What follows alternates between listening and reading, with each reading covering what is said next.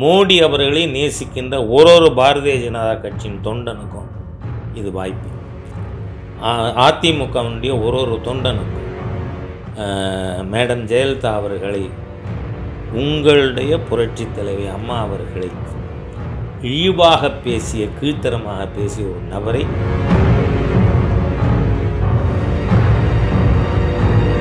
திமுக ஒரு கஷ்ட சொல்லலாம். உங்கள் தலைவரையே இப்படி தனியாக பேசினார்? அதனால் நீங்கள் இந்த வாட்டி ஓட்டு ரெட்டை இலைக்கு போடுங்க தப்பில்லை.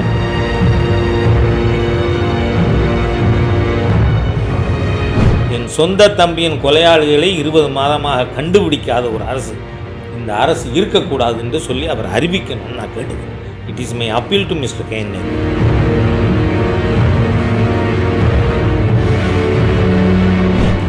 கேட்டாங்க பத்திரிக்கையாளர் இது எலெக்ஷன் ஓரியன்ட் ஆமான்னு சொல்லிட்டேன். என்ன?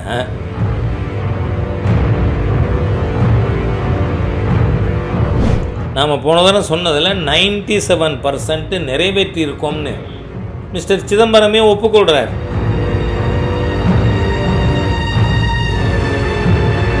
வியாபாரம் பண்ணினால் வரி சர்வீஸ் ப்ரொவைட் பண்ணினா வரி ஆனால் பிச்சைக்காரனுக்கு கூட ஒன்றுமே செய்யாமல் வரி விலைவாசி உயரும்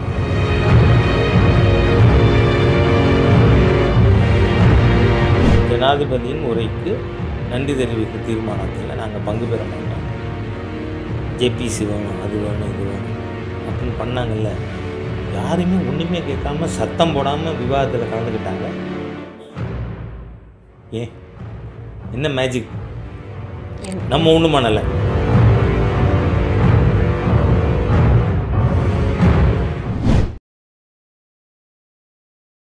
தாமரை டிவி நேயர்களுக்கு வணக்கம். இன்னைக்கு நம்ம நிகழ்ச்சியில பாஜகவின் மூத்த தலைவர் திரு ஹெச் ராஜா அவர்கள் கலந்துக்கிட்டு இருக்காங்க. நிகழ்ச்சிக்கு அவரை வரவேற்கலாம். வணக்கம் சார். நலமா இருக்கீங்களா? நல்லா இருக்கேன். ஈரோடு கிழக்கு இடைத்தேர்தல் பரபரப்பா போய்கிட்டு இருக்கு. ஒவ்வொரு கட்சியும் ரொம்ப தீவிரமா பிரச்சாரம் பண்ண ஆரம்பிச்சுட்டாங்க. அதிமுகவுக்கு ஆதரவு தர முழு ஆதரவு இருக்கும் அப்படின்னு பிஜேபியும் சொல்லியிருக்கு. அப்படி பார்க்கும்போது எந்த அளவுக்கு ஒரு முழு ஆதரவு இருக்கும்? எடுத்துக்கலாங்க சார். அதாவது இதில் முதல்லையே ஆண்டவன் நம்ம பக்கம் இருக்கான். அதிர்ஷ்டம் நம்ம பக்கம் இருக்குது அப்படிங்கிறதுக்கு அடையாளமே என்னன்னு சொன்னால் ஒன்று ஏடிஎம்கேல சிங்கிள் கேண்டிடேட் வந்திருக்கு. நாம் தெளிவாக சொல்லியிருந்தோம் சுயேச்சை சிம்பலாக இருந்தால் ஆதரிக்க முடியாது. அதனால் ஏடிஎம்கே அதனுடைய சிம்பலில் தான் போட்டியிடணும். ஸோ அவர்களுக்குள் ஒரு ஒற்றுமை ஏற்பட்டு சிம்பலும் இரட்டை இலை கொடுக்கப்பட்டிருக்கு. ஆகவே இது இன்றைக்கி ஏன்னா சென்ற தேர்தலில் கூட மிக குறைந்த வாக்கு வித்தியாசத்தில் தான் தமிழ் மாநில காங்கிரஸ் வேட்பாளர் தோல்வியுற்றார். அப்படி இருக்கும் பொழுது பிஜேபி ஏடிஎம்கே தேசிய ஜனநாயக கூட்டணியின் கட்சிகள் அனைத்துக்கும் என்னை பொறுத்தவரை ஒரு கோல்டன் ஆப்பர்ச்சுனிட்டி கிடச்சிருக்கு. காரணம் இந்த திராவிட முன்னேற்ற கழக அரசாங்கம் அது நீங்கள் திராவிட மாடல் சொல்லுங்கள் திராவிடியன் ஸ்டாக் சொல்லுங்கள் இந்த அரசாங்கம் எல்லா துறைகளிலும் தோற்று போயிருக்கிறது. சட்டம் ஒழுங்குங்கிறது மிகப்பெரிய கேஷுவாலிட்டி ஆழ்கடத்தல் படுகொலைகள் லாக்அப் டெத்து இந்த மாதிரியாக தினம் ஏதோ ஒன்று நமக்கு காதலை விழுகிறது. மாணவர்கள் மாணவிகள் கஞ்சா பழக்கத்திற்கு உள்ளாகியிருக்கிறார்கள். காலேஜ் கேம்பஸ்லாம் கஞ்சா இந்த விடியல் அரசு வந்த பிறகு இது எப்படிப்பட்ட விடியா அரசு ரெண்டாவது திமுகவுடைய பிரதானமான வாக்குறுதிகள். ஒன்று ஒவ்வொரு ஹவுஸ் ஒய்ஃபுக்கும் மாதம் ஆயரூவா ரெண்டாவது எலக்ட்ரிசிட்டி பில்லிங் வந்து மாத மாதம் எடுக்கப்படும்னு. ஆனால் இன்றைக்கி தெளிவாக எலக்ட்ரிசிட்டி மினிஸ்டர் நான்கு நாட்களுக்கு முன்னாடி அறிவிச்சிருக்கார் இந்த பை மந்த்லி பில்லிங் மாறாது அப்படின்னு. அரசு ஊழியர்களுக்கு பழைய முறைப்படி பென்ஷன் நிதியமைச்சர் சொல்லிட்டார் அதெல்லாம் நடக்காது. அது தவிர இப்போது சொத்து வரி. ஸ்டாலின் என்ன சொன்னார்? சொத்தையே விற்றா தான் சொத்து வரி கட்ட முடியுமோ? அப்படின்னு ஏடிஎம்கே ஆட்சியின் போது சொன்னார். இப்போ அது ஒன்றரை மடங்குலேருந்து ரெண்டு மடங்கு அதிகரிச்சிருக்கு. ஆக ஒரு கொள்கை ரீதியாக வாக்குறுதி ரீதியாக தோற்று போயிருக்கின்ற ஒரு கூட்டணி எதிர்த்தாப்பில் நிற்கிது அதனால் இது நமக்கு ஒரு நல்ல வாய்ப்பு. எனவே தான் பாரதிய ஜனதா கட்சியின் மாநில தலைவர் அண்ணாமலை அவர்கள் கூட பாரதிய ஜனதா கட்சி முழு ஆதரவு அளிக்கும் அப்படின்னு சொல்லியிருக்கார். ஆனால் சார் நீங்கள் வைக்கக்கூடிய இத்தனை குற்றச்சாட்டுகளும் ஈரோடு கிழக்கு தொகுதி மக்கள் வந்து அதிமுகக்கு ஆதரவாக ஓட் பண்ணினா ஒருவேளை வெற்றி பெற்றாலும் இத்தனை குற்றச்சாட்டுகளும் வந்து அந்த தொகுதி மக்களுக்கு மட்டும் வந்து இல்லாமல் போயிடுமா சார்? அதே தானே? அது இல்லை படிப்பினை. டீச்சிங் தி எரண்ட் கவர்மெண்ட் எல்எஸ்என் அந்த தார்மீக கடமையில் ஈரோடு கிழக்கு தொகுதி மக்கள் வெற்றி பெற்றதாக எடுத்துக்கொள்ள முடியும். ரெண்டாவது திமுக காங்கிரஸ் கூட்டணி வேட்பாளர் யார்? திரு E V K. S Elangovan நான் பாரதிய ஜனதா கட்சி அதிமுக தொண்டர்கள் ஆதரவாளர்கள் அவர்கள் குடும்பத்தினருக்கு ஒரு வேண்டுகோளாகவே வைக்கிறேன். அநாகரீக அரசியலின் உச்சக்கட்டம் இவி கே. இளங்கோவன். ஏனென்றால் ரெண்டாயிரத்தி பதினாறு கைத்தறி மாநாடை இங்கே துவங்கி வைப்பதற்கு மாண்புமிகு பாரத பிரதமர் அவர்கள் வந்த அன்னைக்கு அவர்கள் செல்வி ஜெயலலிதா வீட்டில் மதிய உணவுக்கு போகிறாங்க இவி கே. சிவங்கம் என்ன சொல்கிறாரு அந்த ஒரு மதுவை எதிர்த்து போராட்டம் நடத்தி ஒருத்தர் இறந்து போகிறார் அவருக்கு இரங்கல் செய்து கூட சொல்லலை. அப்படின்னா வாய் பேச முடியாது. ஏற்றுக்கொள்வோம் அவர்களால் பேச முடியாது என்று. ஆனால் பேச முடியாது என்றால் ஐம்பது நிமிடம் இரண்டு பேரும் என்ன செய்தார்கள்? எவ்வளவு ஒரு கொச்சையான கீழ்த்தரமான காமெண்ட் அடுத்து சொல்கிறார் இன்னும். நிச்சயமாக தவறு நடந்திருக்க முடியாது. ஏனென்றால் இந்த வயதுக்கு மேல் தவறு செய்ய முடியாது. இந்த அளவுக்கு இழிவாக பேசிய ஒரு நபருக்கு தண்டனை கொடுப்பதற்கு மோடி அவர்களை நேசிக்கின்ற ஒரு ஒரு பாரதிய ஜனதா கட்சியின் தொண்டனுக்கும் இது வாய்ப்பு. ஆ- அதிமுகவினுடைய ஒரு ஒரு தொண்டனுக்கும் மேடம் ஜெயலலிதா அவர்களை உங்களுடைய புரட்சி தலைவி அம்மா அவர்களை இழிவாக பேசிய கீழ்த்தரமாக பேசிய ஒரு நபரை தண்டிக்க சரியான வாய்ப்பு. அதனால் என்னோட அப்பீல் பிஜேபி ஒர்க்கர்ஸ் ஏடிஎம்கே ஒர்க்கர்ஸ்க்கு என்னென்னா உங்கள் குடும்பம் தவிர ஒரு குடும்பத்தோடு மட்டும் பேசுங்கள் வர இருக்கின்ற நாட்களிலே. இவ்வளவு மோசமான ஒரு அரசியல்வாதி வீட்டுக்கு அனுப்பப்பட வேண்டியவர். இவர் ஜெயிச்சா நாகரிக அரசியலுக்கு தோல்வி. அப்படின்னு உட்காந்து பேசுங்க. ஒரு ஒரு பிஜேபி ஒர்க்கரோட ஒர்க்கருக்கும் என்னோட அப்பீல் இன்னும் ஒரு நான் பிஜேபி வீடு. தேடி போய் உட்காருங்க. டெய்லி வேறு எந்த வேலையும் செய்ய வேணாம். அங்கே போய் உட்காந்து அவர்கிட்ட இந்த மாதிரியான ஒரு அநாகரிகமான நபர் ஜெயிக்கக்கூடாதுன்னு சொல்லுவோம் தோற்கடிப்போம். ஒரு கிடைச்சிருக்கிற அரிய வாய்ப்பு இது. என்று நான் சொல்கிறேன் பாஜக தலைவர் அண்ணாமலை அவர்கள் சொல்லும்போது கூட இவிகேஎஸ் அவருக்கு வந்து இன்னும் பேச ஆரம்பிக்கல. ஒருவேளை பேச தொடங்கிட்டாரு அப்படின்னா அது வந்துட்டு அதிமுகவுக்கு மிகப்பெரிய ஆதரவாக இருக்கும். நிறைய பாயிண்ட்ஸ் கிடைக்கும். ஓட்டு இந்த பக்கம் வரும் அப்படின்னு சொல்கிறாரு அது எந்த மாதிரி ரீசனுக்காக அந்த மாதிரி சொல்ல வேண்டிய அவசியம் என்னென்னா மரியாதைக்குரிய முன்னாள் முதலமைச்சர் திரு மு. கருணாநிதி அவர்களையே ஊதுங்கள் நன்றாக ஊதுவீர்கள் என்றெல்லாம் ஈவி கே பேசி திரு கருணாநிதி அவர்கள் மன்னிப்பு கேட்க வேண்டும் என்று நிர்பந்தப்படுத்தி மன்னிப்பு கேட்டவர் இதை கூட நாம் திமுக ஒர்க்கர்ஸ்ட்ட சொல்லலாம். உங்கள் தலைவரையே இப்படி தான் பேசினார். அதனால் நீங்கள் இந்த வாட்டி ஓட்டு ரெட்டை இலைக்கு போடுங்க. தப்பு இல்லை உங்கள் தலைவரை வந்து ஜாதியை குறிப்பிட்டு பேசி மோசமான நபர் நிற்கிறார் அப்படின்னு சொல்லலாம். அதனால் இதெல்லாம் நினைவில் கொண்டு நம்முடைய மாநில தலைவர் அவர்கள் சொல்லியிருக்கலாம். ஆனால் இன்னொரு பக்கம் திமுகல இருந்து கிட்டத்தட்ட இருபது அமைச்சர்கள் கிட்ட அங்கேயே இருக்காங்க முகாமிட்டு இருக்காங்க பிரச்சாரம் பண்ணுறதுக்காக பல்வேறு யுக்திகளை கையாண்டு இருக்காங்க ஒவ்வொருத்துக்கும் பொறுப்பு கொடுத்துருக்காங்க ரொம்ப கீனாக வாட்ச் பண்ணிட்டு இருக்காங்கன்னு சொல்லிட்டு வாரும் எல்லாம் போட்டிருக்காங்க. இது எல்லாமே பார்க்கப்படுது திமுக தரப்புல. ஆமாம் இதுக்கு இல்ல திமு முன்னாள் முதல்வரையே இப்படி திட்டிருக்காரு அப்படின்னு சொல்லும்போது பட் திமுக சார்ந்த அமைச்சர்களே அங்க இருக்காங்க இல்லையா? அப்ப எந்த அளவுக்கு ஒரு ஆதரவு காங்கிரஸ்க்கு கொடுக்குறாங்க? அப்படிதான் சார் பாசிட்டிவா மக்கள் எடுத்துப்பாங்க. எந்த அளவுக்கு ஆதரவு காங்கிரஸுக்கு கொடுக்குறாங்கன்னு இதை நம்ம எடுத்துக்க முடியாது. நான் எதிர்பார்ப்பது போல் ஒரு தீர்ப்பு வந்துவிட்டால் இந்த அரசுக்கு ஒரு அடியாக கருதப்படும். அதனால் இருக்கலாம் ஆனால் இப்போ அந்த தேர்தலுக்கு திமுகலேருந்து பொறுப்பு யார்? அமைச்சர் K N Nehru. K N Nehru அவர்கள் எனக்கு ரொம்பவும் பிடித்த ஒரு திமுக அமைச்சர்.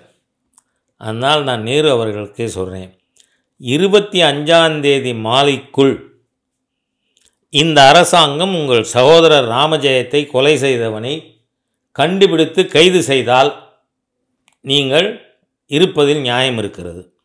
இல்லைன்னு சொன்னால் இருபத்தஞ்சு சாயந்தரம் திரு நேரு அவர்கள் உலகறிய அறிவிக்க வேண்டும். கையாலாகாத அரசாங்கம். என் சொந்த தம்பியின் கொலையாளிகளை இருபது மாதமாக கண்டுபிடிக்காத ஒரு அரசு. இந்த அரசு இருக்கக்கூடாது என்று சொல்லி அவர் அறிவிக்கணும்னு நான் கேட்டுக்கிறேன். It is my appeal to mister K N Nehru எவ்வளவு நாள்? ஏன் இருபது மாதத்தில் ராமஜெயத்தை கொன்னவரை கண்டுபிடிக்க முடியாதா? என்ன செஞ்சு கொண்டு இருக்கு இந்த அரசாங்கம்? It has failed on all ஃப்ரண்ட்னு நான் சொல்கிறதுக்கு அதுவும் ஒரு உதாரணம். ராமஜெயம் கொலையாளியை கண்டுபிடிக்க வக்கற்ற துப்பற்ற ஒரு அரசாங்கம் மாநிலத்தில் இருக்கிறது. அதனால் நேரு அவர்கள்ட்ட என் அப்பீலே உங்கள் சொந்த தம்பியை கொன்னவனை கண்டுபிடிக்க தெரியாத ஒரு அரசாங்கம் இருந்து பிரயோஜனம் இல்லைன்னு நீங்கள் அறிவிக்கணும் இருபத்தஞ்சி சாயந்தரம்.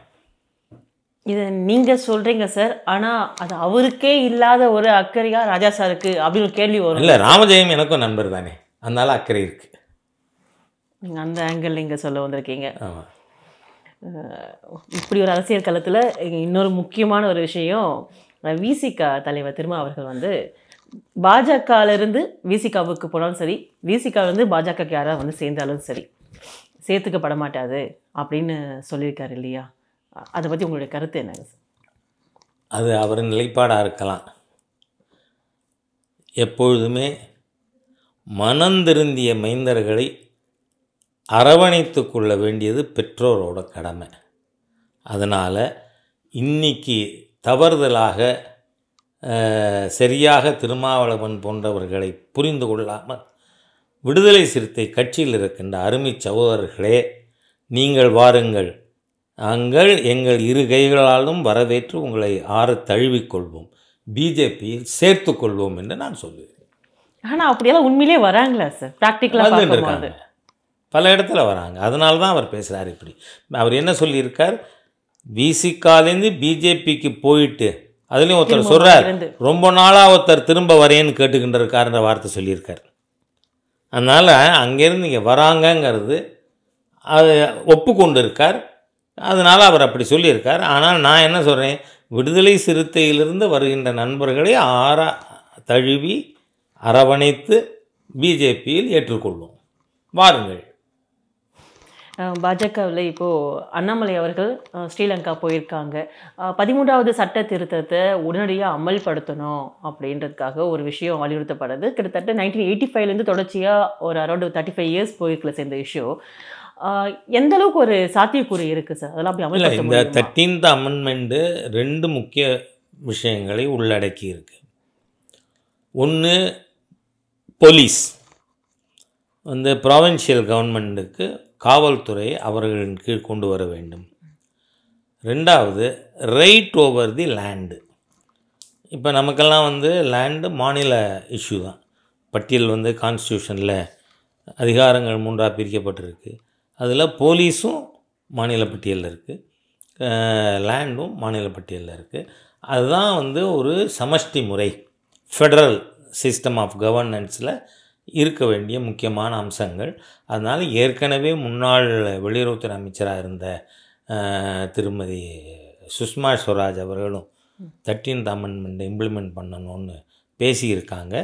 அது சரியான கோரிக்கை அது நடைமுறைப்படுத்தப்படுமானால் நிச்சயமாக ஒரு நிரந்தர அமைதி வந்து நாம் ஸ்ரீலங்காவில் கொண்டு வர முடியும். தமிழர்கள் ஒரு அதிகாரம் பெற்ற ஒரு குடிமகனாக நாம் இருக்கோம் அப்படிங்கிற எண்ணமும் அவங்களுக்கு வரும். முன்னாடி இருந்ததை விட இப்போ கொஞ்சம் அந்த ஃபாலோ பண்ணுற விதங்கள் வந்து ரொம்ப அதிகரித்து இருக்கிற மாதிரி பார்க்கப்படுது. இதுக்கு முன்னாடியே கூட தலைவர் அண்ணாமலை அவர்கள் அங்கே போயிருந்தார் ஸ்ரீலங்கா போயிட்டு வந்தார். அதே மாதிரி வெளியுறவுத்துறை அமைச்சர் அவர்களும் இதில் இன்வால்வ் ஆயிருக்காங்க அடிக்கடி ப்ரெஷர் கொடுக்குற மாதிரி இருக்குது மீனவர்களையும் விடுவிச்சிட்டாங்க. இந்த மாதிரி பாசிட்டிவ் சைன் தெரியறதுனால ஆஹ் இன்னும் ஒரு ஒன் இயர் தான் இருக்குது பார்லிமெண்ட் எலெக்ஷன் வர்றதுக்கும். இது எல்லாமே ஒரு சிங்கிள் லைனில் வரக்கூடிய ட்ராக்காக எடுத்துக்கலாமா சார் இல்லை இப்போ இலங்கையில் இருக்கின்ற தமிழ் மக்களுடைய நீண்ட நாள் கோரிக்கை நிரந்தர கோரிக்கை இது.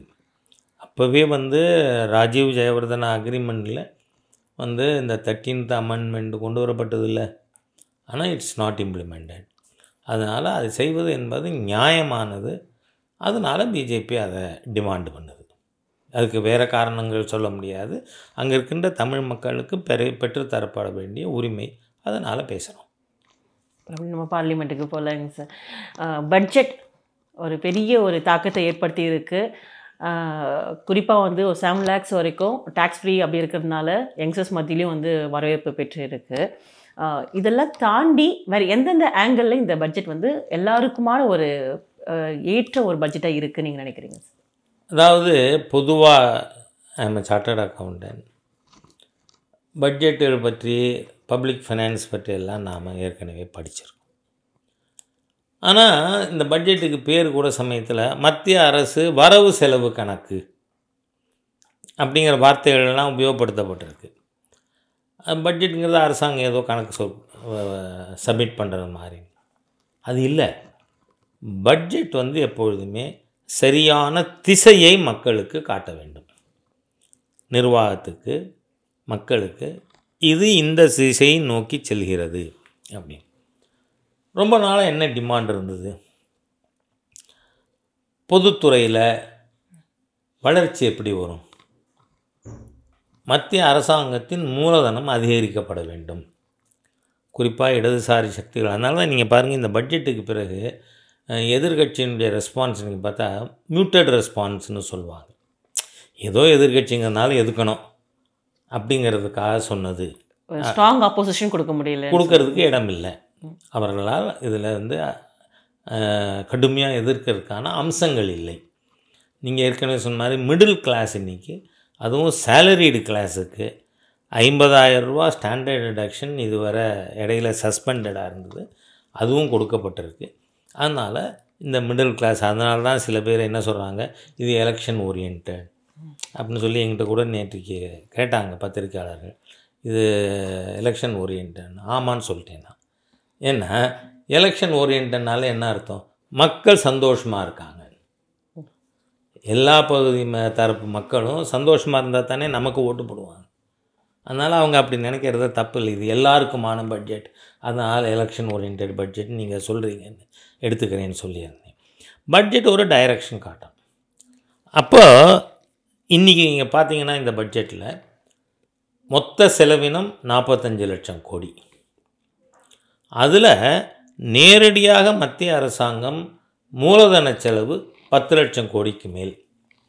மாநிலங்களுக்கு மூலதன செலவுக்காக கொடுக்கின்ற grants in aid for creation of capital investment அதுக்கு மூணு லட்சத்து அறுபதாயிரம் கோ அறுபத்தொம்பதாயிரம் கோடி வந்து இந்த பட்ஜெட்டில் அலோகேட் ஆகிருக்கு அப்போ பார்த்தீங்கன்னா இந்த பட்ஜெட்டில் மூலதன செலவு கேபிட்டல் எக்ஸ்பெண்டிச்சர் பதிமூணு லட்சத்து எழுபதாயிரம் கோடி. அப்போ நாற்பத்தஞ்சு லட்சத்தில் கிட்டத்தட்ட ஒன் தேர்டு இது ஹிஸ்டரியிலே நடந்ததில்லை. ஆனால் இதை விமர்சிக்கும் பொழுது கூட எங்கள் ஊர் நண்பர் சிதம்பரம் நேற்று சிவகங்கையில் பேசும்போது சொல்லியிருக்கார். இதெல்லாம் நடக்கிற விஷயமா? போன வருஷம் ஏழரை லட்சம் கோடி மூலதனம் போடப்படும் அப்படின்னு பட்ஜெட்டில் சொல்லியிருந்தாங்க. ஆனால் ஏழு லட்சத்து இருபத்தெட்டாயிரம் தான் நடந்திருக்கு. இருபத்தி ரெண்டாயிரம் குறைவுன்னு. இருபத்தி ரெண்டாயிரங்கிறது ஜஸ்ட்டு த்ரீ பர்சன்ட் நாம் போன தடவை சொன்னதில் நைன்டி செவன் பர்சன்ட்டு நிறைவேற்றி இருக்கோம்னு மிஸ்டர் சிதம்பரமே ஒப்புக்கொள்கிறார் இன்னி காலையில் தொலைக்காட்சியில் அவருடைய பேட்டி பார்த்தேன் ஆக இந்த அரசாங்கம் சொல்கிறது மட்டும் இல்லை செய்யறதும். முடியறதுங்கிறத அவர் வாயாலே ஏழு ஏழரை லட்சத்துக்கு ஏழு லட்சத்து இருபத்தெட்டாயிரம். இட்ஸ் சாட்டிஸ்ஃபேக்டரி இம்ப்ளிமெண்டேஷன் ஏன்னா கவர்மெண்ட்டில் டெண்டர் விடுறது வேலை ஆரம்பிக்கிறதெல்லாம் கொஞ்சம் டிலே ஆகும். அதனால் ஓரிரு மாதங்கள் நடக்கும். ஆகவே first direction investment orient infrastructure and investment orient budget ஒன்று ஏன்னா நீங்கள் போன வருஷத்தை விட இந்த வருஷம் முப்பத்தி ஏழு சதவீதம் அதிகம். அது ஏழு லட்சத்தி சொச்சம் இப்போ இது பத்து லட்சம் சொச்சம் டைரக்ட் அது தவிர grants in aid for capital expenditure இருக்குது இதுக்கு அடுத்ததாக இது வந்து இன்க்ளூசிவிட்டி நீங்கள் பட்ஜெட் வந்து பெருந்தனக்காரர்கள் அந்த மாதிரியா இருக்கக்கூடிய செக்ஷனுக்கு மாத்திரம் இருக்கிற பட்ஜெட்னு சொன்னால் அது இன்க்ளூசிவ்னு சொல்ல முடியாது.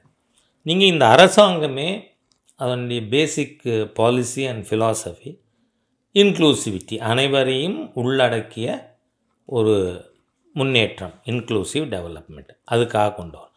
இங்கே ஒரே ஒரு உதாரணம் சொல்கிறேன் நான் ரெண்டாயிரத்தி பதினாலுக்கு முன்னாடி வங்கி கணக்கு வச்சுருந்தவங்களே மொத்தம் மூணு கோடி தான். ஆனால் இன்றைக்கு வங்கி கணக்கு வைத்திருப்பவர்கள் நாற்பத்தி ஏழு கோடி. அந்த நாற்பத்தி நாலு கோடி யார்? ஜீரோ பேலன்ஸ் அக்கௌண்ட் ஸோ ஏழை எளிய மக்கள் யாரால் ஐநூறுரூவா போட்டு இதை ஆரம்பிக்க முடியாதோ? அந்த மாதிரி. ஸோ நீங்கள் இது எது எதுக்கெல்லாம் முக்கியத்துவம் கொடுத்துருக்கு? பிரதான் மந்திரி ஆவாஸ் யோஜனாவுக்கு. வீடு இல்லாதவர்களுக்கு பக்கா வீடு. இதுவரை மூணரை லட்சம் கோடி. பார்லிமெண்ட்டில் தான் மாண்புமிகு பிரதமர் பேசும்போதே சொல்கிறார் என்ன கொத்தம் சொல்கிற நீ? நான் மூணு கோடி பேருக்கு மேலே வீடு கொடுத்தது தப்பா? ஆக வீடு இல்லாதவருக்கு வீடு. சரி வீடு இருக்குது கழிவறை இல்லை. அவர்களுக்கு கழிவறை. வீடு இருக்குது கழிவறை இருக்குது ஆனால் கேஸ் இல்லை. அவங்களுக்கு கேஸு வீடு இருக்குது கழிவறை இருக்குது கேஸ் இருக்குது ஆனால் அவர்களுக்கு வந்து மருத்துவ செலவுக்கு வழி இல்லை. அஞ்சு லட்சம் ரூபா ஆண்டுக்கு இன்சூரன்ஸ் ஆக நீங்கள் பார்த்தீங்கன்னா சாதாரண ஏழை எளிய மக்கள் விளிம்பு நிலைக்கு கீழே இருப்பவர்களை உள்ளடக்கிய ஒரு பட்ஜெட்டாக இன்க்ளூசிவ் டெவலப்மெண்ட் அதே மாதிரி இந்த ஒரு அஹ், சப்தரிஷின்னு ஏழு ப்ரையாரிட்டிஸ் அதில் தான் இன்ஃப்ராஸ்ட்ரக்சரும் வருது இன்க்ளூசிவிட்டியும் வருது. ரீச்சிங் தி லாஸ்ட் மைல் இப்போ உதாரணமாக நாம் ஆட்சிக்கு வந்த உடனே பார்த்தா பதினெட்டாயிரம் வில்லேஜஸ் மின்சாரமே போய் சேரல. அங்கே மின் கம்பமே பார்க்க முடியாது. சுதந்திரம் கிடச்சி எழுபது வருஷம் ஆகியும் ஆனால் இன்றைக்கி எல்லா இடத்துக்கும் போய் சேர்ந்துருக்கு. அந்த மாதிரியாக கடைசி நிலையில் இருக்கக்கூடியவர்களுக்கும் எல்லா வசதிகளும் ஏற்படுத்தி தருவதற்கான ப்ரையாரிட்டி அதே போல் யூத் பவர் இன்றைக்கி நீங்கள் பார்த்தீங்கன்னா இந்த உலகத்திலேயே மிக அதிகமான இளைஞர்கள் கொண்ட யங் நேஷன் இந்தியா.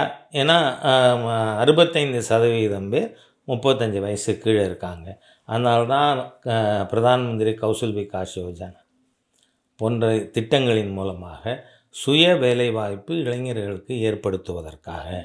அதே மாதிரியாக எழுநூற்றி நாற்பது ஏக்கர் வித்யாலயாவுக்கு வேண்டிய இன்ஃப்ராஸ்ட்ரக்சர் இந்த மாதிரியான திட்டங்கள் மாணவர்கள் இளைஞர்கள் இவர்களை மையப்படுத்தி இந்த பட்ஜெட்டானது உருவாக்கப்பட்டிருக்கு. அதே போல் க்ரீன் அட்மாஸ்ஃபியர் நீங்கள் பார்த்தீங்கன்னா இந்த உலகத்தில்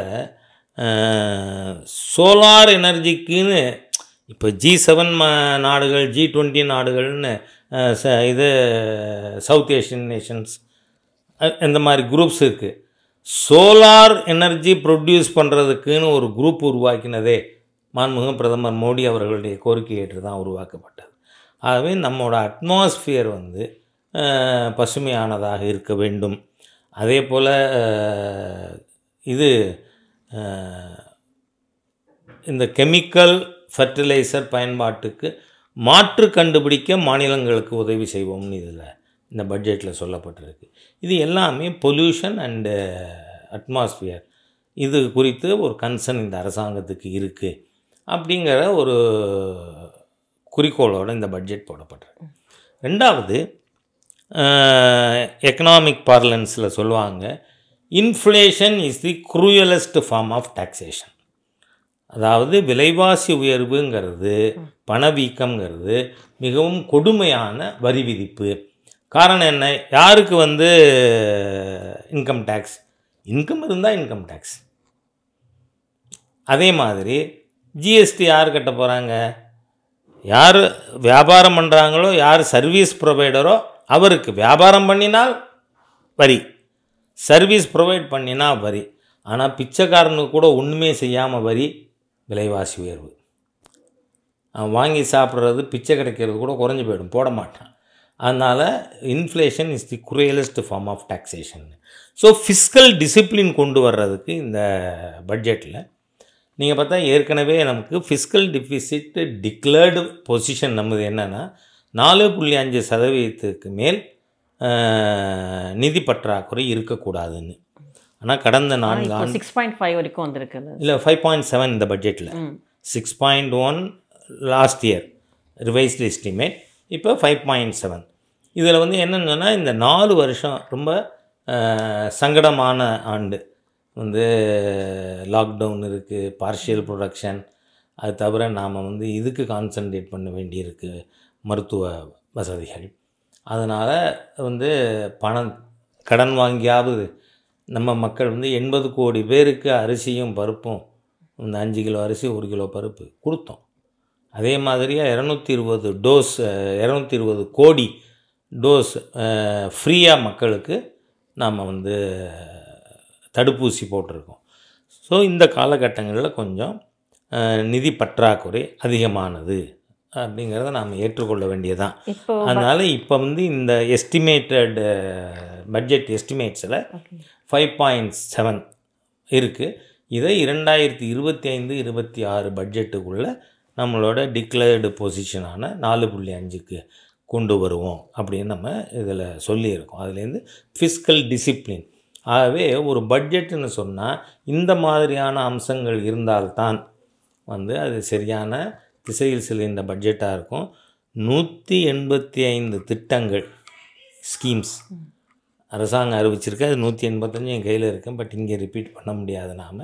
அதனால் இந்த அரசாங்கம் ஏழை எளிய மக்கள் அதே சமயத்தில் ஈஸ் ஆஃப் டூயிங் பிஸ்னஸ் தொழில் செய்கிறவங்களுக்கு தொழில் செய்வதற்கு சுலபமான விதிமுறைகள் கொண்டு வருவதற்கான வேலைகளும் செஞ்சுட்டு இப்போ ஒரு பக்கம் பட்ஜெட் இந்த மாதிரி சார் சமீபத்தில் ரெப்போ ரேட் வந்துட்டு பாயிண்ட் டூ ஃபைவ் இன்க்ரீஸ் பண்ணதால் வீட்டு கடன் வாகன கடன் இதெல்லாம் வந்து இன்க்ரீஸ் ஆயிடுச்சு இல்லைங்க சார். அது எவ்வளோ பெரிய நடுத்தர மக்கள் அப்படின்னு இந்த இடத்துல டாக்ஸ் ஃப்ரீன்னு ஒரு பக்கம் வரும்போதும் கூட இன்னைக்கு நடுத்தர மக்கள் யாருமே வந்து ஏதாச்சும் ஒன்று வாங்கணும் வீடு வாங்கணும்னா கண்டிப்பாக லோனில் தான் போயிருப்பாங்க.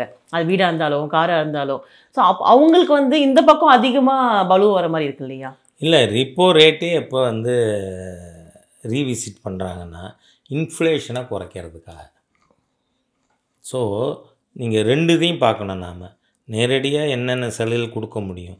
அதே சமயத்தில் வந்து இன்ஃப்ளேஷன் இல்லாமல் ஏறாமல் பார்த்துக்கணும். அதுக்காக தான் ரிப்போ ரேட்டை அதுவும் ரொம்ப கம்மியாக பாயிண்ட் டூ ஃபைவ் பாயிண்ட்ஸ் தான் அவங்க இன்க்ரீஸ் பண்ணியிருக்காங்க.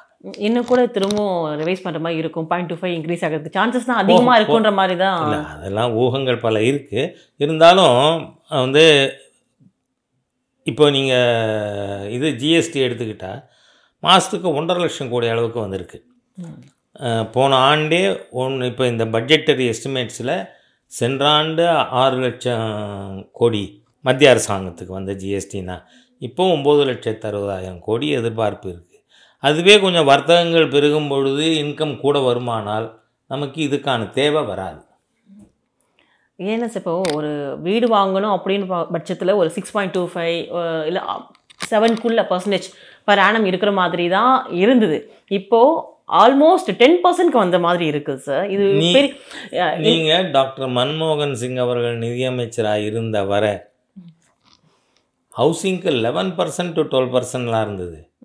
இப்போ சிக்ஸ் பாயிண்ட் ஃபைவ்லேருந்து இருக்குது என்ன? அதுலேயும் நாம் என்ன பண்ணியிருக்கோம்? ஏழை எளிய மக்களுக்கு இப்போ பத்து லட்சத்துக்குள்ள கடன் வாங்கி வீடு வாங்குறாங்க. அவங்களுக்கு இன்ட்ரெஸ்ட் சப்வென்ஷன் கொடுத்துருக்கோம். வட்டியில் சப்சிடி டூ ஓகே சார் அதனால் நாம் வந்து என்ன பண்ணுறோம் இருக்குது கிவன் அ சுச்சுவேஷன் நமக்கு ப்ரெஷர் இருக்குது விலைவாசி கட்டுப்படுத்தணும். ஆனால் அப்போ கூட ஏழை எளிய மக்கள் பாதிக்கக்கூடாது. இப்போ உதாரணமாக ஒரு பெரிய ஏழை எளிய மக்கள் பாதிக்கப்படாதுங்கிறதுக்காக பணக்காரர்கள் வந்து வரி கட்ட வேண்டி வந்தாலும் பரவாயில்லன்னு எடுத்திருக்கிற ஒரு மெஷர் நீங்கள் டைரக்ட் டேக்ஸஸ்லேயே எடுத்துக்கிட்டால் இப்போ கேபிட்டல் கெயின்ஸ் டேக்ஸ் இருக்குது இப்போது ஒரு வீடு ஒருத்தர் நாற்பது லட்சம் ரூபாய்க்கு நாற்பது கோடி ரூபாய்க்கு விற்கிறார். அவர் அந்த நாற்பது கோடியும் போட்டு வீடு புதுசாக வாங்கினா அவருக்கு கேபிட்டல் கெயின்ஸ் டேக்ஸ் கிடையாதுன்னு இருந்தது. இப்போ என்ன பண்ணியிருக்காங்க? அதில் ஒரு கேப் கொண்டு இருக்காங்க இந்த கேபிட்டல் கெயின்ஸ் டேக்ஸ் ஹவுசிங்க்கு பத்து கோடிக்கு மேல் போக முடியாதுன்னு அப்போ இப்போ அவர் நாற்பது கோடிக்கு விற்றாலும் ஐம்பது கோடிக்கே வீடு வாங்கினாலும் பத்து கோடிக்கு கேபிட்டல் கெயின்ஸ் அவருக்கு கழிவு கிடைக்கும். மீதி முப்பது கோடிக்கு கிடைக்காது. அந்த மாதிரி அதாவது அதெல்லாம் சில இது நாம் நிறைய விஷயங்கள் இருக்கு இல்லை இந்த கடுமையான சூழ்நிலையால் செய்ய வேண்டி வருது. ஏன்னா உலகமே ஆரோக்கிய ரீதியாகவும் சரி பொருளாதார ரீதியாகவும் ஆடி போயிருக்கிற நேரம். சீனாவை விட நாம் இன்னும் மேலே இருக்கோம். ஜிடிபி growthல ஏழு percent that is it in itself ஒரு அச்சீவ்மெண்ட் தான். அப்படி பார்க்கும்போது நீங்கள் சார்ட்டட் அக்கௌண்டன்ட் இது கண்டிப்பாக கேட்டே ஆகணும். இதுக்கு முன்னாடி வந்து இன்ட்ரெஸ்ட் ரேட்டில் ஃப்ளோட்டிங் அண்ட் ஃபிக்ஸ்டு இந்த ஒரு கேட்டகரி இருந்தது இல்லை சார் ஆனால் இப்போ வந்துட்டு ஃபிக்ஸட் அப்படின்ற ஒரு ஆப்ஷன் கிடையாது. ஃப்ளோட்டிங் தான் அப்படின்ற மாதிரியும் எல்லா பேங்க்ஸும் கொண்டு வந்துட்டாங்கன்னு சொல்கிறாங்க எந்த அளவுக்கு அது பாசிபிலிட்டிஸ் இது உண்மைதாங்களா? இப்படி தான் இருக்குங்களா? இல்லையே இப்போ எனக்கே ஃபிக்ஸட் ரேட் வச்சுருக்கேன். அது நடந்துட்டுருக்கேன் இப்போ ரீசெண்ட் டேஸில் எல்லா பேங்க் கடன் வாங்கியிருக்கேன். இல்லை சார் ரீசெண்ட் டேஸில் எந்த பேங்க்லையும் அப்படி கிடையாதுன்ற மாதிரியும் சொல்லப்படுது. தெரில இது அந்த மாதிரி இருக்குமானால் அது அரசாங்கத்தின் கவனத்துக்கு கொண்டு போகும். இப்போ அதானி குழுமம் பற்றி கண்டிப்பாக பேசியே ஆகணும் சார் இந்த இத்தனை விஷயங்கள் பேசும்போது இந்தியன் பேங்க் அமெரிக்காவை சேர்ந்த இந்தியன் பேங்க் நிறுவனம் வந்து அதானி குழுமத்தை பற்றி ஒரு அறிக்கை வெளியிட்டாங்க. அதன் பிறகு அவருடைய ஷேர் எல்லாமே பிர- பிரச்சனைகளை சந்திச்சு வருது. தொட- தொடர்ந்து இப்போ இழப்பை சந்திச்சுட்டு வருது. ஸோ மக்களுக்கும் ஒரு விதமான பயம் இருக்குது குறிப்பாக எல்ஐசியில் வந்து போட்டவங்கலாம் வந்து பணம் திரும்ப கிடைக்குமா? அப்படின்ற மாதிரி கூட யோசிக்க ஆரம்பிச்சுட்டாங்க. என்ன இதுக்கு பின்னாடி இருக்கக்கூடிய பின்னணி என்ன? இது? பல யூடியூபர்ஸ் சோஷியல் மீடியாவில் இருக்கிறவங்க. இது வேண்டுமென்றே திரித்து மக்களுக்கு பொய்யான தகவல்களை கொடுத்து கொண்டிருக்கிறார்கள். அதாவது ஹிடன்பர்க் ஹிடன்பர்க் எதுவும் எக்ஸிக்யூட்டிவ் ஏஜென்சியா ப்ராசிக்யூட்டிங் ஏஜென்சியா அவர் யார் அதானியை கேள்வி கேட்க? அப்படிங்கிற கேள்வியும் இருக்குது ஹிடன்பர்க்குங்கிறது என்ன? தே ஆர் ஷார்ட் செல்லர்ஸ் அதாவது இந்த ஷேர் மார்க்கெட் ஆப்ரேஷன்ஸில் ஷார்ட் செல்லிங்கிறது கையில் ஸ்டாக் இல்லாமலே சேல்ஸ் பண்ணுறது அதாவது உதாரணமாக இன்றைக்கி எக்ஸ் கம்பெனி ஷேர் ஐநூறுரூபா போயின்னு இருக்குது ஆனால் இன்சைட் இன்ஃபர்மேஷன் இது ரெண்டு மூணு நாளில் கீழே விழும் அப்படின்னு இன்ஃபர்மேஷன் இருக்குது அப்போ நான் என்ன பண்ணுவேன்? அந்த ஷேரை நான் ஐநூறு ரூபாய்க்கு உனக்கு விற்றுருக்கேன் இவ்வளோ நம்பர் ஆஃப் ஷேர்ஸ் அப்படின்னு விற்று அந்த ரெண்டு நாள் கழிச்சு அது நானூற்றம்பது ஆகுதுன்னு வைங்க. இந்த இடைப்பட்ட ஐம்பது ரூபாய் என்னோடது. நானூற்றம்பது ரூபாய்க்கு வாங்கி அவர்கிட்ட நான் கொடுத்துருவேன். ஏன்னா அவர் என்ன அக்ரி பண்ணியிருக்கார்? ஐநூறுரூபாய்க்கு பர்ச்சேஸ் பண்ண agree பண்ணார். இந்த மாதிரியான ஷார்ட் செல்லிங் வில்லன் இந்த ஹிடன்பர்கை அமெரிக்காவில் எப்படி பார்க்குறாங்க? It is a short selling villain hero இல்லை. அப்படி தான் அதை பார்க்குறாங்க. அமெரிக்காவில் பார்க்குறாங்கன்றீங்களா சார் ஆமாம் இங்க இல்லை அமெரிக்காவில் அப்படி பார்க்குறாங்கன்னா அங்கே என்ன புரியலைங்க சார் இது அங்கே இருக்கிற கம்பெனி தானே. ம்.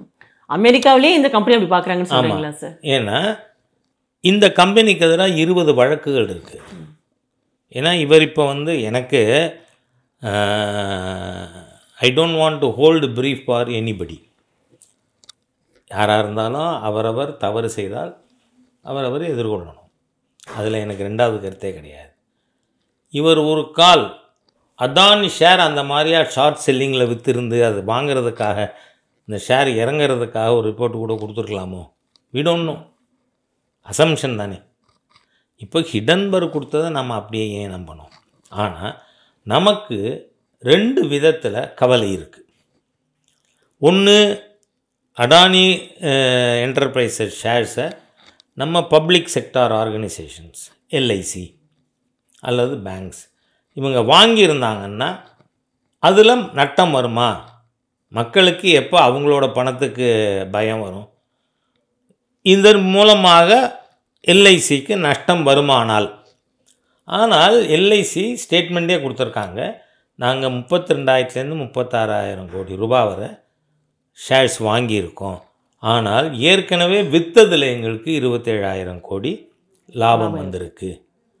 இப்போ இருக்கிறதும் நீங்கள் பார்த்தீங்கன்னா ஒரு நாலு வருஷத்துக்கு முன்னாடி அடானி ஷேர்லாம் முந்நூறுரூபாய்க்கு தான் போயிட்டு இருந்தது. அது அப்புறம் மூவாயிரம் ரூபா வரைக்கும் போயிடுச்சு. இப்போது தொள்ளாயிரம் ரூபாய்க்கு இறங்குச்சு. இறங்கின உடனே நம்ம டிவியில் எல்லாத்துலேயும் என்ன போட்டாங்க? அடானிக்கு எட்டு புள்ளி ஏழு கோடி நஷ்டம்.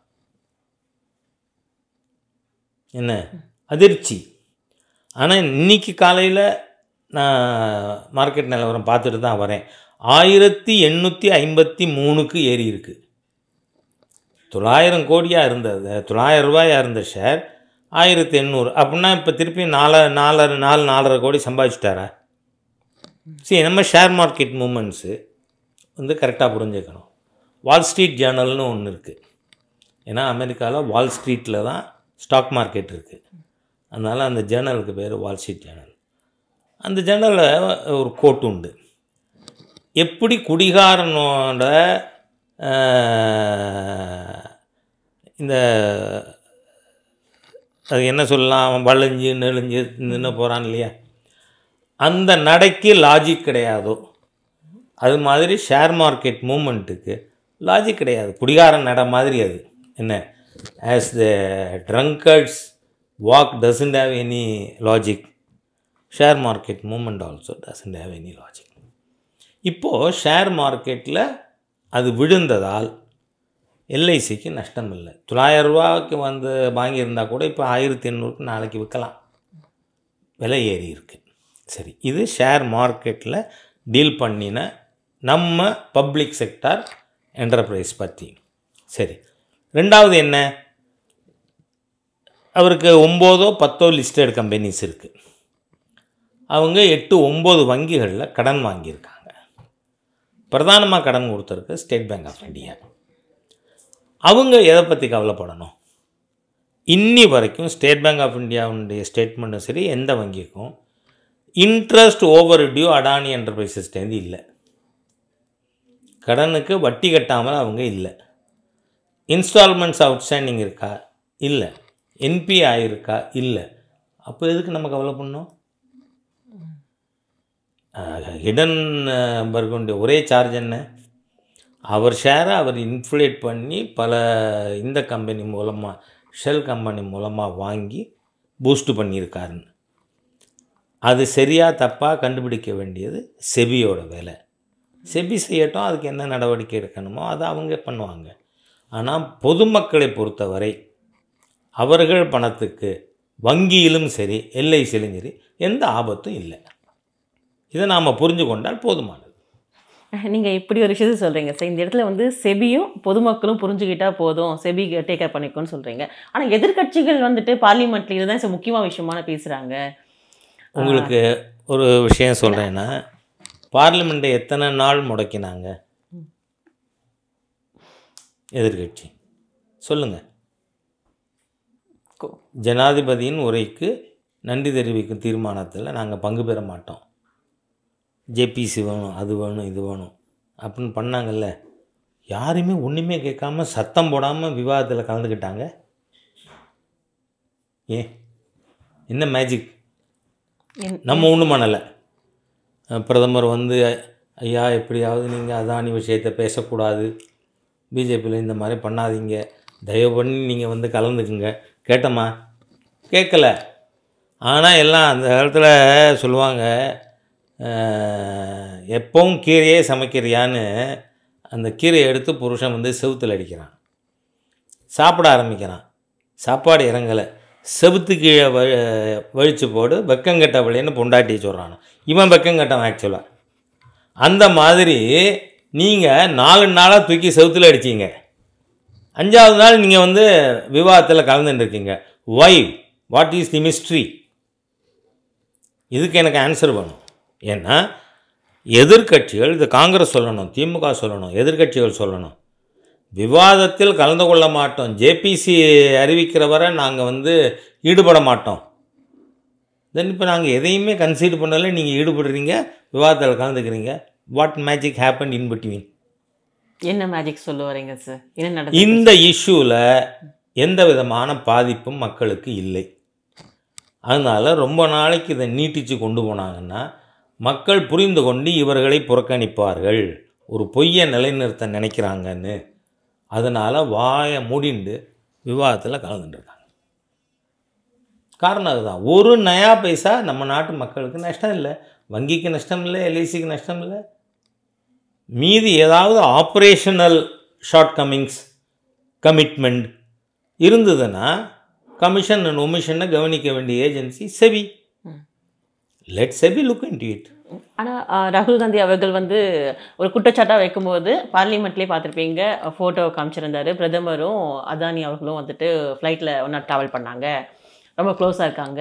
இவர் எங்கெல்லாம் போகிறாரோ அவரும் கூட போகிறாரு இந்த மாதிரி பிரதமருக்கு இதில் இன்ஃப்ளூயன்ஸ் இருக்குது அப்படின்ற மாதிரியான குற்றச்சாட்டை சொல்லியிருக்காரு சார் திரு திருபாய் அதுக்கேற்ற மாதிரி பிரதமர் அவர்களும் வந்து இதை பற்றி பேசல இல்லைங்களா பார்லிமெண்ட்டில் திரு திருபாய் அம்பானி அவர்கள் மறைந்தார்.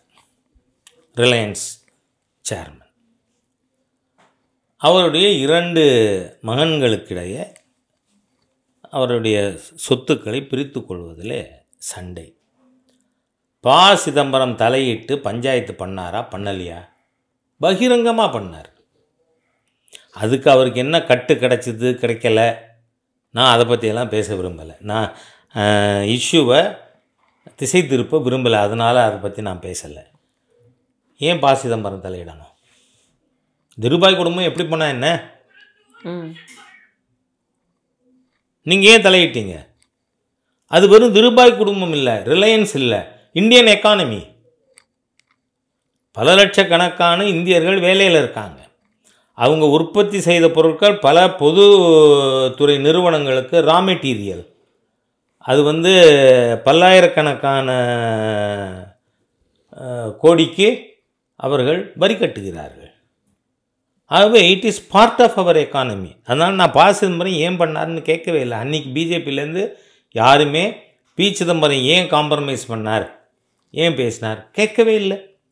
காரணம் தட் ஹவுஸ் ஷுட் கண்டினியூ இந்தியாவில் நாட் ஒன்லி அடானி. அடானியாக இருக்கட்டும் அம்பானியாக இருக்கட்டும் பஜாஜாக இருக்கட்டும் கொட்டக்கா இருக்கட்டும் யாராக இருக்கட்டும் டாட்டா பிர்லா எனிபடி அவங்க நம்ம பொருளாதார குடும்பத்தின் அம்சம். ஒன்று விழுந்தாலும் நம்ம பொருளாதாரம் பாதிக்கும். அதனால் சரி. இப்போது நீங்கள் அம்பானி குடும்பத்துக்கு அவ்வளோ நெருக்கமாக இருந்தீங்க. அதை யாரும் நாங்கள் பேசலை. ஆனால் நீங்கள் வந்து ஏர்போர்ட்டில் ட்ராவல் பண்ணது ஒன்றா பண்ணதுன்னு ராகுல் காந்தி. ராகுலை பப்புன்னு சொல்கிறதுக்கு காரணமே இதுதான். ஒரு விவரங்கெட்ட நபர் நீங்கள் என்ன பின் பாயிண்ட் பண்ணணும்? எல்ஐசிக்கு இத்தனை கோடி நஷ்டம். சொல்லுங்கள் அரசாங்கம் பொறுப்பேற்கும் சரி வங்கிகளில் ஏதாவது ஒரு வங்கியில் Adani group is a defaulter சொல்லுங்கள் சீரியஸ்னஸ் இதில் என்ன இருக்குது எல்லாருமே நண்பர்கள் தான். ஒருத்தரும் ஒன்றும் பயம் வரல. இண்டஸ்ட்ரியல் ஹவுஸில் நாம் இவர் வேண்டியவர் அவர் வேண்டாதவர்னு கருதுறது கிடையாது. அதுக்கு ஒரு உதாரணம் சொல்கிறேன் நான் உங்களுக்கு. மண்பமு மாண்புமிகு பிரதமர் மோடி அவர்கள் சீஃப் மினிஸ்டராக இருக்கிறத இங்கே வந்து இன்வெஸ்டார் கான்ஃபரன்ஸ் நடத்தினார். சென்னையில். அப்போது இன்வெஸ்டார் பேசுகிறார் எனக்கு இன்ன இது உங்களுக்கு இன்வெஸ்ட் பண்ணணும் நான் குஜராத்தில் அப்போ மோடி சொல்கிறார் நான் உங்களுக்கு இதுக்கு முன்னாடி பார்த்ததில்ல. நான் இன்னும் ரெண்டு மணி நேரம் இருக்க போகிறேன் அந்த ரெண்டு மணி நேரத்துக்குள்ளே நீங்கள் உங்களோட கம்ப்ளீட் டீட்டெயில் ப்ராஜெக்ட் ரிப்போர்ட்டோடு வந்தீங்கன்னா குஜராத் ஸ்டேட் கவர்மெண்ட் சீல் அடித்து கையெழுத்து போட்டு தரேனார் அப்படின்னா என்ன அர்த்தம்? மனு பிரதமரோட அணுகுமுறை என்ன? முன்னேற்றத்திற்கு டெவலப்மெண்ட்டுக்கு இண்டஸ்ட்ரியலைசேஷனுக்கு யாராக இருந்தாலும் நாம் உதவுவோம். அரசாங்கம் எப்படி உதவணுமோ நேர்மையான முறையில் அதை செய்வோம். அவ்வளோதான் இதில் இப்போ நண்பன் என்ன பகைவன் என்ன? சட்டம் தன் கடமையை செய்யும் யாருக்காக இருந்தாலும். அதில் நம்ம தலையிட மாட்டோம். ஆனால் யாராக இருந்தாலும் நேர்மையாக நான் இந்த தொழில் செய்யணும். அரசாங்கம் அனுமதிக்கணும். அனுமதிப்போம். அவ்வளோதான் இப்படியான ஒரு சமயத்தில் சார் இப்போது சமீபத்தில் பிபிசி கூட பிரதமர் பற்றி டாக்குமெண்ட்ரி ஒன்று வெளியிட்டிருந்தாங்க. குஜராத் கலவரம் குறித்த ஒரு விஷயம்.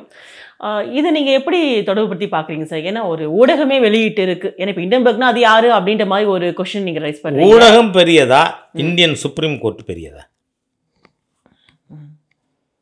பெரியதும் கிடையாது. நடந்த விஷயங்களை சொல்லக்கூடிய ஒரு இடத்துல இல்லை இல்லை. இந்திய உச்ச நீதிமன்றம் இது ரெண்டாயிரத்து ரெண்டுலேருந்து பல ஆண்டுகள் குற்றஞ்சாட்டப்பட்டு இதை உண்மை நிலையை கண்டறிந்து அறிக்கை சமர்ப்பிக்க ஸ்பெஷல் இன்வெஸ்டிகேஷன் டீம் அதுவும் நம்ம தமிழ்நாட்டை சேர்ந்தவர் தான் ஒருத்தர் ராகவன் நினைக்கிறேன். என்ன தமிழ்நாட்டை சேர்ந்தவர் தான். அதனுடைய இன்வெஸ்டிகேட்டிங் ஆஃபீஸர். அவர் மோடிக்கு நோட்டீஸ் கொடுக்குறார் விசாரிக்க. ரெண்டு நாள் ஆறு ஏழு மணி நேரம் மோடியை விசாரிச்சிருக்காங்க. மோடி அவர்கள் தனியாக காரில் போய் அவங்க எத்தனை நேரம் கேள்வி கேட்டாங்களோ ஒவ்வொரு கேள்விக்கும் பதில் சொல்லிட்டு வெளியில் வந்துட்டு சொன்னார். அவர்கள் கேட்ட கேள்விகளுக்கு எனக்கு தெரிந்த பதில்களை நான் கூறியிருக்கிறேன். முடிவெடுக்க வேண்டியது எஸ்ஐடின்னு எஸ்ஐடி அண்ட் சுப்ரீம் கோர்ட் இந்த எஸ்ஐடி நியமித்ததும் சுப்ரீம் கோர்ட்டு தான். நாட் யூபிஏ கவர்மெண்ட் அப்போ SIT and supreme court Modi அவர்களுக்கு இதில் இன்வால்வ் ஆகலை. அப்படின்னு தீர்ப்பு கொடுத்துருக்காங்க. இப்போது நீதிமன்றம் யாரோ ஒருத்தர் நீதிமன்றத்துக்கு இந்த தடையை வந்து லிஃப்ட் பண்ணணும் அப்படின்னு போய் பெட்டிஷன் போட்டிருக்காரு. அது நோட்டீஸ் கொடுத்துருக்கு 90 டேஸ் நோட்டீஸ். அதுவே தேவையில்லாதுங்கிறது என் கருத்து. ஏன்னா நீங்கள் ஜட்ஜ்மெண்ட் கொடுத்துருக்கீங்க. அது தொடர்பானது. இந்த இதை நான் பார்க்கல. பிபிசி ஆணவ படம். என்ன அது ஆவணப்படம் இல்லை ஆணவ படம். அதை நான் பார்க்கல. ஆனால் அதில் இருக்கிறவங்க என்ன சொல்கிறாங்க பதினஞ்சு நிமிஷம் மோடி அவர்களை பற்றி விமர்சித்து விட்டு ஆனால் இதை எஸ்ஐடி ரிஜெக்ட் பண்ணியிருக்கு. அப்படின்னு ஒரு வரி சொல்கிறாங்க ஸோ நமக்கு புரியுது எந்த மாதிரி நேரேட்டிவ் இப்போது இதுக்கும் கிடன்பர்குக்கும் சம்பந்தம் இருக்கா? இருக்கலாம். காரணம் ரெண்டாயிரத்தி இருபத்தி நாலில் தேர்தல் வரப்போகுது. எல்லா விதமான சர்வதேச சதியும் நாம் எதிர்பார்க்கணும். இல்லைன்னா நாம் பிஜேபிக்காரன் இல்லை. காரணம் என்ன? இந்த மாதிரியாக நீங்கள் போன தேர்தலுக்கு முன்னாடி ரஃபேல இது பண்ணாங்க. எல்லாருக்கும் என்ன? டெல்லியில் அமெரிக்க ஐரோப்பிய நாடுகளுடைய தலையாட்டி பொம்மை வேண்டும் என்கின்ற எண்ணம் பலருக்கு இருக்குது மோடி அவர்கள் அந்த மாதிரி தலையாட்டி பொம்மையாக இல்லை. அமெரிக்கா சொல்லிச்சு நீ ரஷ்யாவில் வாங்கக்கூடாது. க்ரூட் ஆயில் நான் ரூபாயில் வாங்குகிறேன் வாங்குவேன் அப்படின்னு சொன்னோம். நேற்றுக்கு அமெரிக்கா ஒரு ஸ்டேட்மெண்ட் வந்திருக்கு. ரஷ்யாவுக்கும் உக்ரைனுக்கும் நடக்கிற யுத்தத்தை நிறுத்துவதற்கு இந்தியா பேச்சுவார்த்தை நடத்த வேண்டும். நீங்கள் இதுக்கு முன்னாடியெல்லாம் எப்படி இருந்தது? பாகிஸ்தானுக்கு இந்தியாவுக்கும் காஷ்மீர் பற்றி பிரச்சனையா? நான் வந்து பஞ்சாயத்து பண்ணுறேன்னு சொன்ன நாடு அமெரிக்கா. ஆனால் இன்றைக்கி அமெரிக்கா என்ன சொல்லுது? இந்தியா இங்கே ஆகவே சர்வதேச நிலையில் மிகப்பெரியது ஒரு இடத்திற்கு இந்தியா நகர்ந்து கொண்டிருப்பது பிடிக்காத ஏஜென்சிஸ் இருப்பாங்க. இது அந்த ஏஜென்சி அப்படின்னு நீங்க சொல்லும்போது ஏஜென்சின்னு எடுத்துக்கிறதா? இல்ல சில நாடுகள்னு எடுத்துக்கிறதா? இல்லை சில ஏன்னா இப்ப பாஜக பொறுத்த வரைக்கும் இப்ப உள்நாட்டுல இப்ப இந்தியாவுல வந்து எதிர்க்கட்சியினர் அஹ், அவங்களை எதிர்கொள்றதை விட உலக அளவுல தான் எதிராளிகள் அதிகமா இருக்காங்களா? அப்படின்னு ஒரு இல்லை இப்போ நீங்கள் வந்து பிரிட்டிஷ் பிரைம் மினிஸ்டரே இந்த பிபிசி ரிப்போர்ட்டை தான் ஏற்றுக்கலைன்னு சொல்லியிருக்காரு. அந்த நாட்டு மக்களே கூட வந்து பிபிசிக்கு எதிராக அஜிடேட் பண்ணியிருக்காங்க. அப்போ பிபிசிங்கிறது இட் இஸ் அன் ஏஜென்சி அது ஏன் பண்ணணும்? சீனா அதில் நுழைஞ்சிருக்கு. They have made investment in BBC அது இப்போ இதில் சீனாவுடைய பங்கு இல்லைன்னு சொல்ல முடியுமா? முடியலை. Because China is part of BBC ஆகவே நமக்கு இந்த மாதிரியான ஏஜென்சிஸ் இருக்கலாம். ரெண்டாயிரத்தி இருபத்தி நாலுக்குள்ளே வலிமை மிக்க மோடியை பலவீனப்படுத்த வேண்டும் என்கின்ற நோக்கத்தோடு அவங்க வெற்றி பெற மாட்டார்கள் என்பது நமக்கு உறுதியாக தெரியும். இருந்தாலும் அட்டம்ப்ட் பண்ண மாட்டாங்கன்னு சொல்ல முடியாது. அட போகிற போக்கில் சகுதியை வாரி விசிட்டு போவோம் மூஞ்சி மேலே. அப்படின்னு நினைக்கலாம். அதனால் இது ரெண்டும் எனக்கு ஆச்சரியம் தரல. இந்த மாதிரி விஷயங்கள் எப்படி வந்தாலுமே இந்தியா வந்து மிக எளிதாக கடந்து செல்லும் அப்படின்னு எடுத்துக்கலாமா சார் இல்ல. மிகப்பெரிய சவாலா இருக்கும் எடுத்துக்கலாமா சார் இல்லை. நாம் சவாலா வெற்றியா தோல்வியாங்கிறத விட உண்மையை நாம் அனுமதிக்கலாம். பொய்யை அனுமதிக்க முடியாது. ஏன்னா இப்போ ரெண்டாயிரத்து ரெண்டில் ஒரு சம்பவம் நடக்குது. அது பற்றி இருபத்தி ரெண்டு வருஷம் கழித்து ஒரு ஆணவ படம் வருது. நீங்கள் ரெண்டாயிரத்தி ரெண்டில் பிறந்த குழந்த இருபத்தி நாலில் ஓட்டராக இருப்பாரா இல்லையா? அவருக்கு தெரியாதுல்ல ரெண்டாயிரத்தி ரெண்டில் என்ன நடந்ததுன்னு. அப்போ இந்த மாதிரி ஒரு பொய்யான விஷயம் அவருக்கு வந்து காதில் திணிப்பது. ஏன் நாம் அனுமதிக்கிறது? அதனால் எச்சரிக்கையாகவும் இருக்க வேண்டியிருக்கு. எக்ஸ்பிளைனும் பண்ண வேண்டியிருக்கு. ஆனால் இவை எது இருந்தாலும் மீண்டும் இந்த அரசாங்கம் திருப்பி வர்றதை ஆட்சிக்கு வர்றதை தடுக்க முடியாத. காரணம் inclusive development a how touch the everybody அதனால் மக்கள் வந்து மோடி அவர்களுடைய தலைமையின் மீது அவ்வளோ பெரிய நம்பிக்கை வச்சுருக்காங்க. அதனால் நமக்கு நம்பிக்கை இருக்குது இருந்தாலும் எதிரிகளை சுலபமாக விட்டுவிட முடியாது.